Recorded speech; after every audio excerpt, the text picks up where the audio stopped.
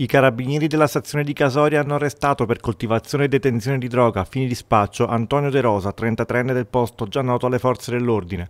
Perquisita la sua abitazione, i militari, insieme ai carabinieri del nucleo cinofili di Sarno, hanno trovato in un locale in uso a De Rosa una vera e propria serra artigianale, perfettamente organizzata ed efficiente sistemi di illuminazione e irrigazione, concimi e vario materiale per la coltivazione, una tenda per l'essiccazione e una lista affissa al muro contenente il piano di fertilizzazione per la coltivazione delle piante, con tanto di istruzioni per la corretta fioritura.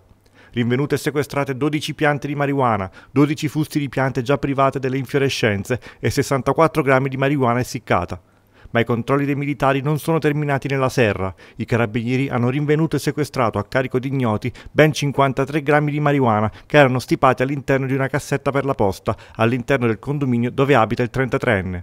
Durante le operazioni i militari hanno scoperto anche che De Rosa ed altri cinque nuclei familiari che abitano in altrettanti appartamenti del palazzo avessero un allaccio abusivo alla rete elettrica. Sei le persone denunciate per furto di energia elettrica. I carabinieri di Casoria, insieme a personale della società di distribuzione elettrica, hanno quindi constatato che l'uomo, con allaccio abusivo, non solo alimentasse la sua abitazione ma anche la serra.